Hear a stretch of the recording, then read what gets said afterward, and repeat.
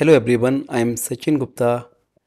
In this video, I am going to talk about chaining API request, what does it mean, and how can we automate chaining request using by Postman tool. So that let's see the definition. Definition: Chaining API request is a technique where you programmatically make multiple API requests to perform a particular function with each request feeding subsequent request so what does it mean? It means like you are having request one and and request one response you can use in request two and request two response you are going to use in request three and so on. Okay? So this is chaining. Okay? Here you can see request one it is the output dependent to request two. Request two cannot complete without request 1 and request 3 cannot complete without request 2 so there is a dependency. This is a sequence sequence order. Okay so when request 1 execute then request 2 request 3 so it's called the chaining api request. Let's see how can we automate using a postman tool. In order to automate this type request we are having one very good example of heroku app. So heroku app here these are the chaining request. Let's see how can we automate. So here you can see this is a one for where we are going to create token. It will help to authorization for the request. And then we will create you know one create booking. Then we will see the booking. Then we will update the booking. Then we'll partially update the booking. Then we'll delete the booking. So this is a order. It is dependent to each other let's see how can we automate. So first request called the create token. So let's automate. So this is the url or you can copy this curl. So i'm going to copy this. And in postman i created one workspace chaining request. Let me create one collection as well. And collection name i can say hero. Okay. Now this is the curl. And for this you can go import raw text and here import this you have imported say Roku app. This is get token. This is a get token request save. So I just executed this and this is a token and they have given by default username and password. So we should not worry to set any username password. This is for only for learning purpose okay? So this is the token. So this we need to use in next request. So what i am going to do i am going to capture this in collection variable. So this is a collection variable.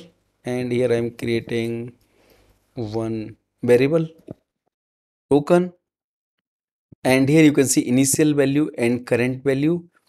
Initial value this value it is going to sync uh, if your repository is public it will sync uh, in the public repository okay?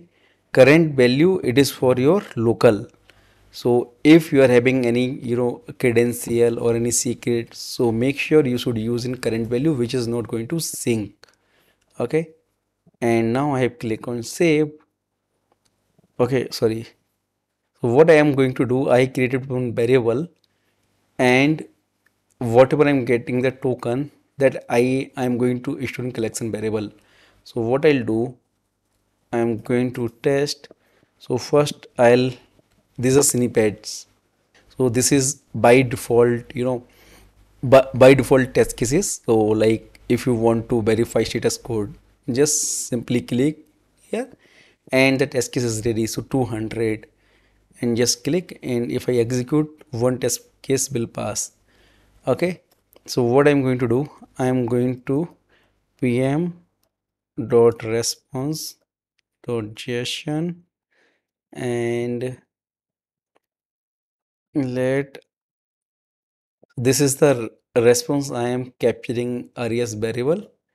And now I am going to shed collection variables. So for this snippet and if you see here set collection variable and I have given the name token.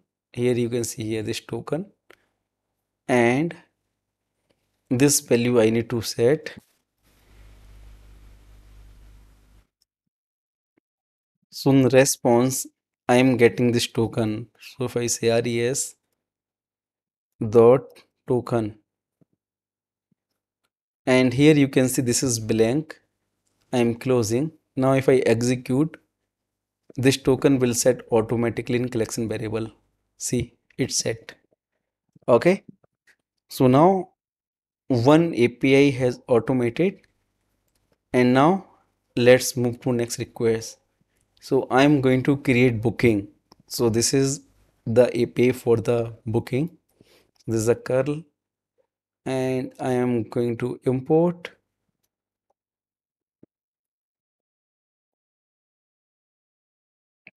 and now I am going to save this request and this I am going to give them create booking. Okay. So for create booking this is a body where we need to pass you know couple of details. First name last name. So what I'll do I'll create few variable. So first name last name check-in date and checkout what else? Anything more? And additional needs. Okay? So this variable I have created so first name I am okay I'm not giving here anything. And for check-in checkout I can set. So check-in let's take this in the same format otherwise it will fail. So check-in uh, 23 this is a month. And for check-in I'll say 15th of Feb I'm going to check in and check out would be on 17th so check-in checkout date has set. And now this is the first name last name. So in pre-request script I'll set the first name. And in order to set this is a collection variable. So f name. Here I am giving my name Sachin and similar this is the last name. Okay. So first let's execute. Let's see it is uh, the value is set or not setting or not. And here if I see it has set it for Sachin Gupta. Sachin first name and Gupta is the last name. Okay. So it's working fine. Now I want to set this value as well additional needs in global variable. So I'll this as well. And this is the collection variable name.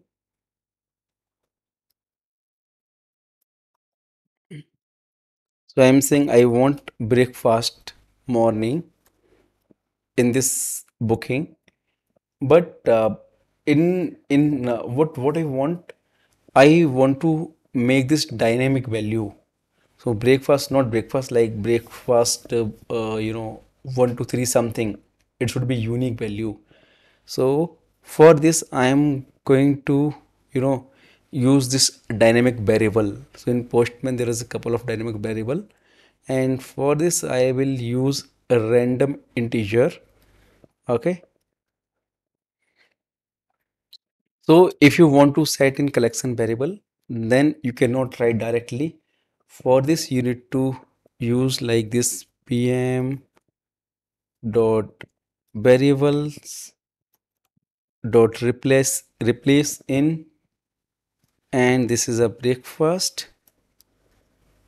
And here okay random integer. This is what you need to write and you need to use double curly braces as well.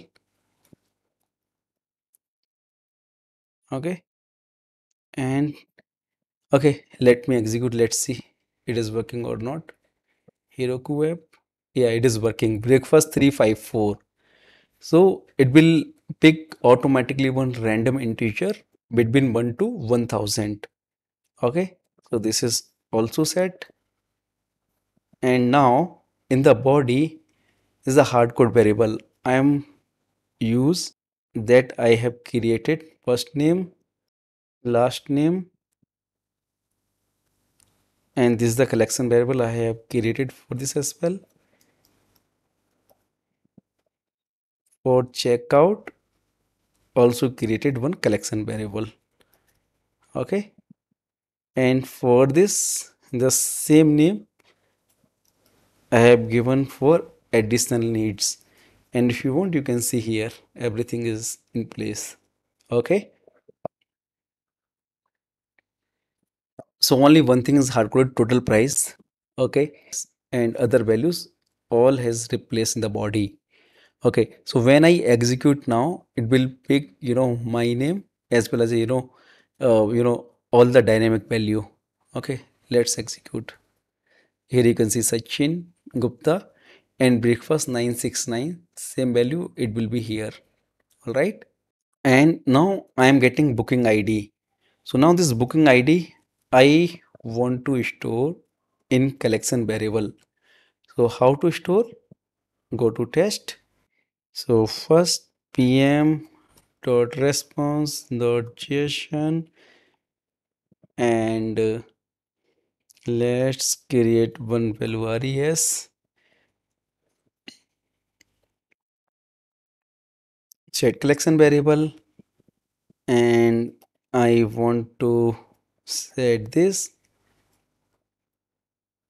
And from response I want to pick this booking ID okay? And also I want to verify this status code so there's a snippet for the status code 200 okay? So this is for capturing the booking id in the collection variable. This is the test case. In order to verify status 200 i am going to create one more test case where i will verify you know these details first name last name and if you see here this one okay? So pm dot test verify first name okay? Function and pm dot expect and res dot booking. This is one object. Inside the object there is a key called first name. And this I want to verify to equal and this should equal to the you know this one f name collection variable.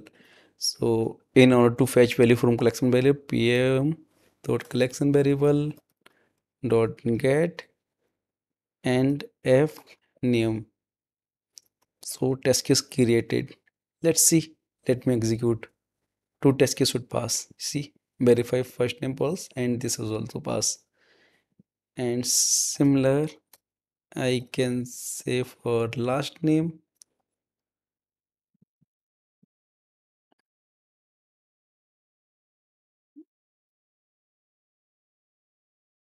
okay. And what else? Now I'm going to verify check-in check-out dates as well.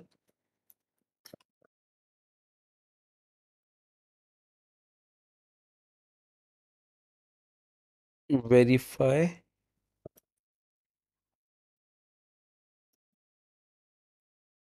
Check-in date.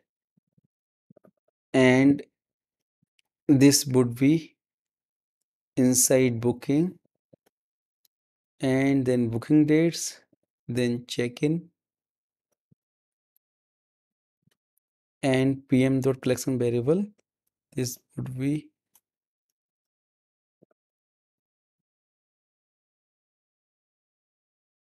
check-in. This is a collection variable called check-in. And similarly i will verify checkout.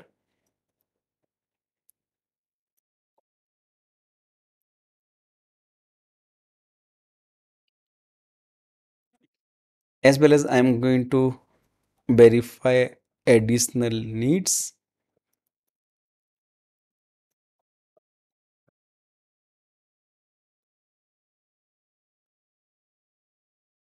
This is okay, booking and additional needs. Booking, then inside there is a called additional needs, and this would be okay. So all test cases are ready. Let's execute. So all six test case has passed. You can see here. Verify first name, last name, check in, check out. Okay. And here you can see here everything. So whatever details is here and same it is you know uh, verifying with the response if if it is matching with the response then test case is pass all right. So create booking is done. Now let's move to next api what is that? Is called get booking. So for get booking we can use this curl. Okay. This this is the get request. Okay. Let's use this one import raw text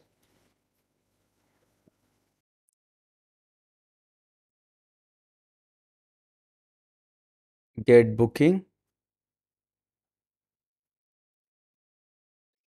and this is the booking id and we are having booking id for this i have created you know this collection variable. So when last request created right? This is i have captured in collection variable. And this detail i am going to fetch again. And this is fine. Let me click on send. Yep. Here you can see here. I'm able to see the details. And same test case we can add for this request as well. And 200 this is not required for this. Okay.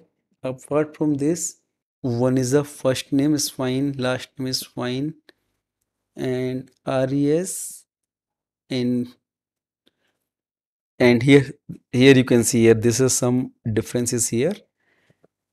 Here this is not okay. Booking dot last name. Oh okay there's so response is little different okay? So response dot first name okay? Booking booking is not the object is not there. This also need to remove. And for check-in date response directly booking dates. And check-in response booking dates checkout. And additional needs okay? This is you know outside and this you can access from the response. Okay i think we are good now. Let me execute this. Yeah you can see all six test cases pass. So get as well it is working. Now let's move to next request. Next request called update booking so i'm going to import raw text and this name is called update booking.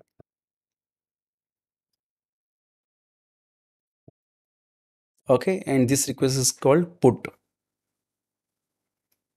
Oh, sorry i did i think url would be this one okay. And here this would be booking id and this is the body. And this body i am going to update. This is the same body what we have created the request. And same body here you can see here there is no difference okay everything same. So what i'm doing i am removing this first part existing. And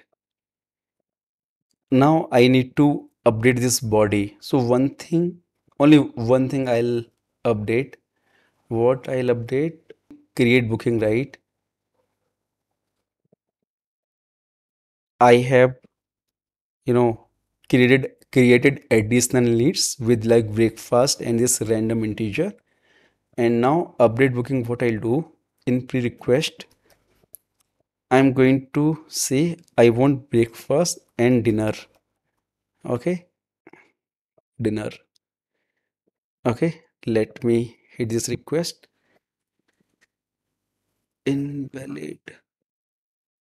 Okay here you can see in the header we need to pass this token so token I have captured already. So here this is a token in variable token. And this token I have passed here this value. And now let me hit. Okay let me generate token new token. Okay now let me hit. Okay something is going wrong. Oh sorry. Https url was wrong. Okay so in update booking what i'm doing in pre-request just I have updated breakfast and dinner with this random integer and the body is same whatever you know I was using earlier and and when I am hitting this request it will take breakfast and dinner. Okay now let me try to add the test cases.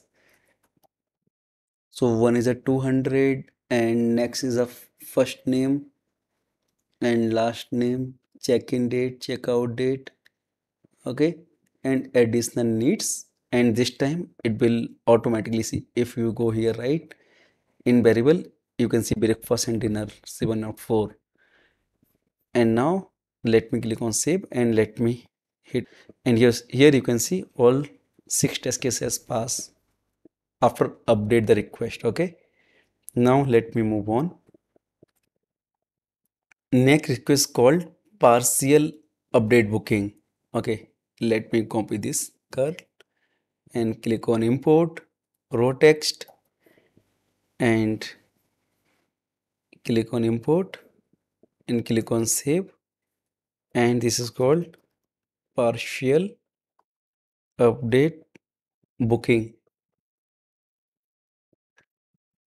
And this request called patch because we are you know updating few details not you know complete the payload. And that's why this is called the patch. And here in in this request you can see the first name and last name. Okay? You know updating. So what i'll do and first name and last name it was Sachin Gupta. And if I go and create request let me copy this thing. Partial I am going to pre-request my surname. I will append it one you know number. This would be perfect use case. GUPTA this is not required. Okay. And same I am going to use first name here and last name okay? So try to understand what I'm doing here. In pre-request my first name is same. I'm not changing anything okay? And uh, you know just it will override okay? And uh, in last name my last name and it will append one random integer number. Let me hit forbidden because here I need to pass this token here as well token. Okay now let me hit. And if you go here you can see here Sachin Gupta 163 one random number it has appended. And in partial update you can see here Sachin Gupta 163 and other details are same. And now let me add the test cases. Okay so this is the test case this would be the same. I forgot to pass here this booking ID okay. Now it's fine. Okay here you can see all test case pass. Okay. Now if you want you can you know hit get request again. This duplicate. You can add here. Get request. And you can hit again and here you can see all test cases are passing. This is also one use case okay? You can hit the get request after you know partial update. And now last request called delete booking. Let's automate this. Okay click on import raw text.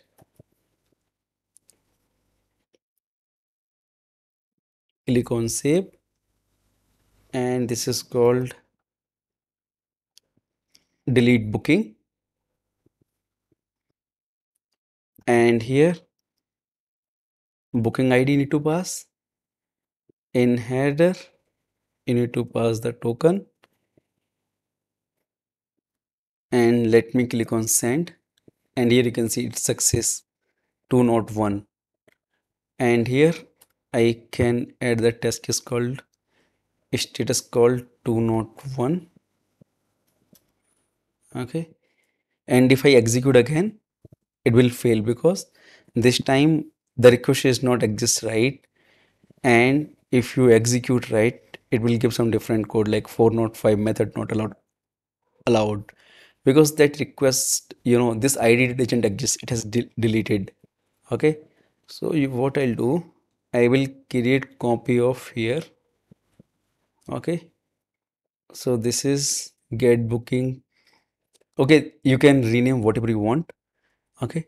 And if I execute I'll got you know something 404 and this is also one use case.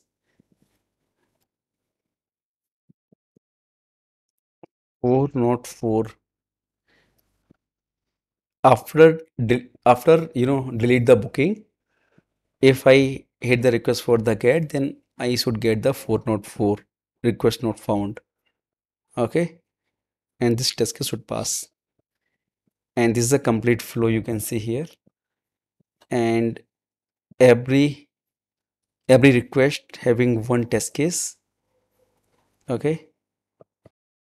All right? And this is the chaining request. If you want to hit this page it will fail because booking id doesn't exist okay so this is called chaining. Each request dependent you know different requests. So first request so this is the first token and we are using uh, in different requests. So and delete delete booking. We can delete the booking when we are having one booking id okay so this is called the chaining request. And if you want you can execute all as a collection. Just click here click on run i have selected this parent folder. It's called the collection. And just click on execute. Here you can see here. View summary all test case pass. Okay. If you click on view summary this is the summary. I think it's clear. This will help you to you know understand you know chaining requests how how can we automate chaining requests using my postman and this you can export and after exporting it will create one JSON and that JSON you can execute using by command line or you can see the new Newman which will generate the report as well as you can execute in CI/CD. You can execute in GitHub or Jenkins on daily basis. That's what I want to cover in this tutorial. Thank you. Hope you like this. Thank you. Happy learning.